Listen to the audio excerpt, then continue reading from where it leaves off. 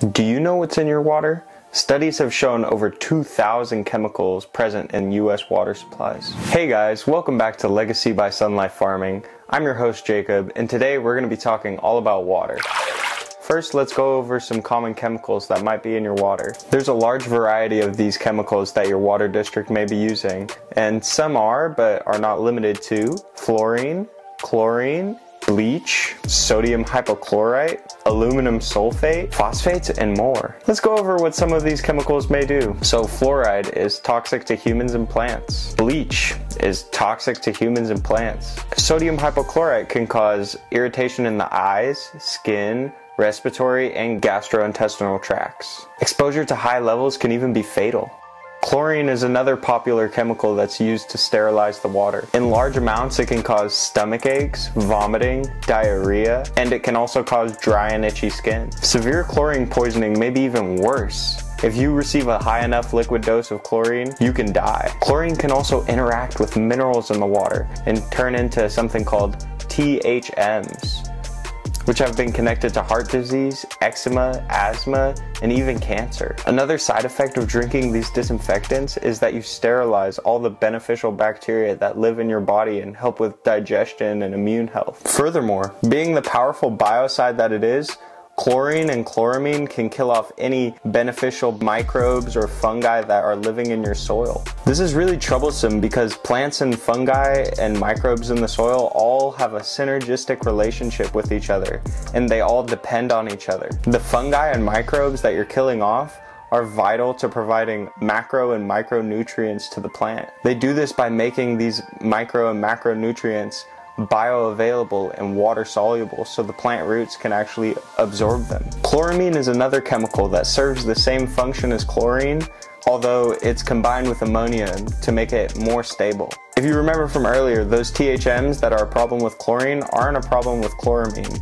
Although the other downside is that chloramine is not easily evaporated off the water, so it needs to be either filtered out or neutralized. An easy way to neutralize chloramine from your water is to add ascorbic acid at a rate of 1 gram per every 75 gallons of water. Ascorbic acid is also known as vitamin C and it's perfectly healthy and safe for humans and plants to consume. Cleaning the water of pathogens and bacteria is important, but it's certainly not healthy for humans or plants to be consuming these chemicals that they use to sterilize the water. A lot of these chemicals are present in tap water, and if you have aging pipes, you could be leaching heavy metals like iron and lead into your water as well. Water districts are always testing the water, and these tests are available as public record for you to go in and check on. You can check these easily by searching up your local water district on the internet and then going and clicking on their website and finding the test that they provide provide. Your local water districts will have acceptable levels for these chemicals and heavy metals that are present in your water. Although these levels are not well researched and many consider these levels not strict enough. For instance, water is always purified before an organic gardener is brewing a microbial compost tea. This is because they know that the microbes that they're trying to propagate would not be able to survive in water containing these chemicals. The same is true with the soil in your garden. The microbes will not be able to survive if they're being exposed to all these nasty chemicals. The pH of the water is another important factor to take into consideration. The pH is important because it can affect the solubility of nutrients that your plants need to uptake. Most nutrients that plants uptake are only water soluble within the pHs between 5.5 and 6.5. So, if you're watering with water outside of these ranges, you're bound to end up with nutrient lockout and nutrient deficiencies in your plants. Since pH is so important, you need to be able to adjust it. Thankfully, pH can be adjusted up and down very easily. You can either use general hydroponic pH up and down regulators, or you can use natural solutions like citric acid as a natural pH down regulator and potassium bicarbonate or wood ash as a natural pH up regulator. I heavily recommend that every gardener get some sort of pH testing meter for their water. The pH of your water is always subject to change and it's something that you're gonna need to be constantly checking. So having a quick and reliable way to do that is crucial as a gardener. Another thing to consider when looking at water is the ppm, or the hardness of the water. And that is basically taking a look at what type of minerals are in your water and how much of those minerals are in your water. The problem with water being too hard is that it can affect the pH of the water. And as I said earlier, the pH of the water is crucial in the nutrient uptake for the plants. So if you have water that's too hard, you're gonna end up with nutrient lockout and nutrient deficiencies. This happens because the excess of minerals in the water form bonds with the water soluble nutrients and after they form bonds the nutrients are no longer water soluble so the plant can't uptake them and you get nutrient lockout. Let's take a look at the ppm levels and what they mean. A ppm of 0 to 70 is considered very soft water. This is the type of water that you would be getting out of an RO filter or a reverse osmosis filter. A ppm of 70 to 140 is considered soft water. 140 to 210 is considered slightly hard water. And 210 to 320 is considered hard water.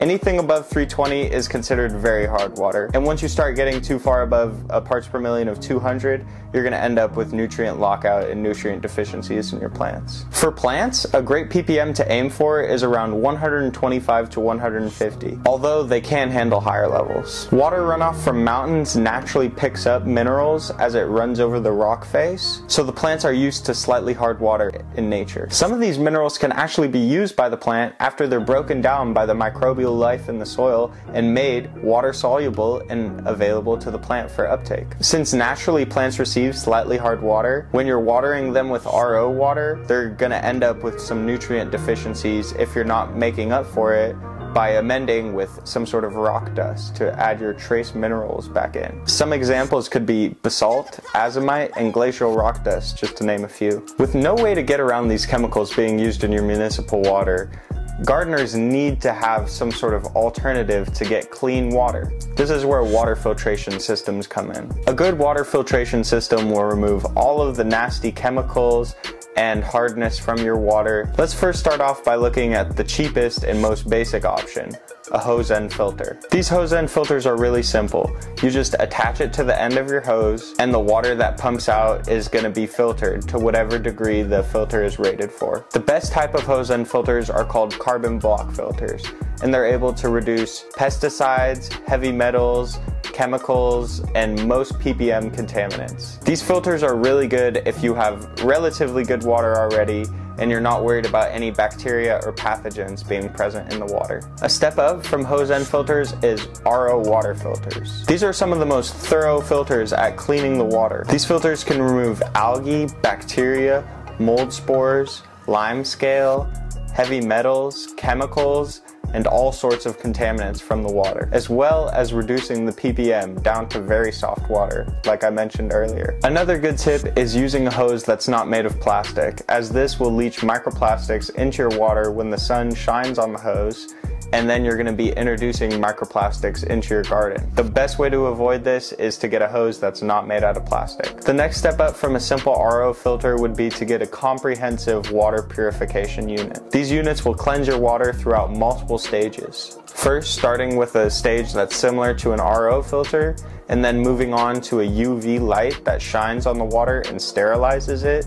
And then at the end, the most expensive models even have ionizer technologies where they use a process of electrodialysis to charge the water with only the positive ions. The end result is high quality alkaline and ionized water. This water is really good for human drinking and consumption, although it's not totally necessary for your plants. Quick disclaimer, this video is not sponsored by any water filtration companies. Alright guys, so that's the video. Hope you guys learned something and enjoyed. Until next time, thanks for watching.